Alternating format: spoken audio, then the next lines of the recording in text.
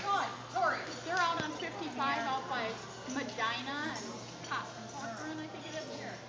But they, Shay said it's poured just like a deluge for 45 minutes. I said, well, we didn't get that in Eagan. We just barely. I turned off the sprinklers. We hardly got. We didn't get much rain, did we? Not here. No. I've been sitting here since six thirty. But no, I mean it's like at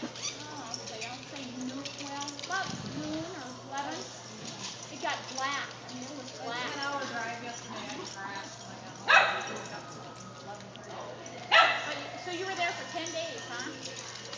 Now, where were you out of state? Indiana, Okay. it was great. It was a really good time.